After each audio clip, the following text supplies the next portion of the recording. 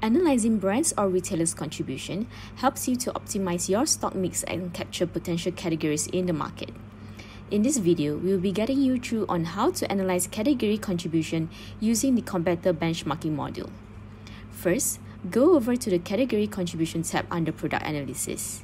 This allows you to compare category allocation between retailers and how are they performing against each other. For example, we have selected Zara, Mango, and H&M to compare tops and outerwear contribution in May to August.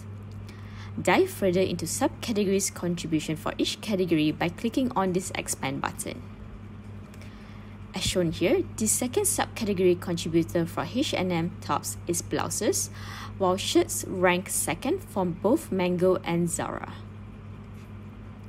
Next, click on the sellout contribution icon here to validate the performance of each category or subcategory. For H&M outerwears, knitwear and sweats contributed a sellout of 72% compared to its product contribution of 61%. This depicts a potential to further explore knitwear and sweats.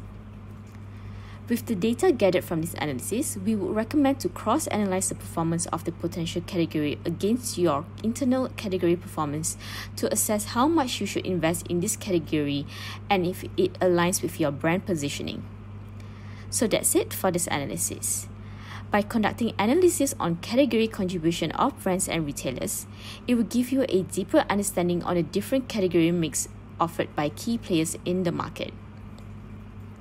Validating the performance of this category or subcategories is now imperative than ever to ensure that you are able to determine the potential categories with significant demand in the market.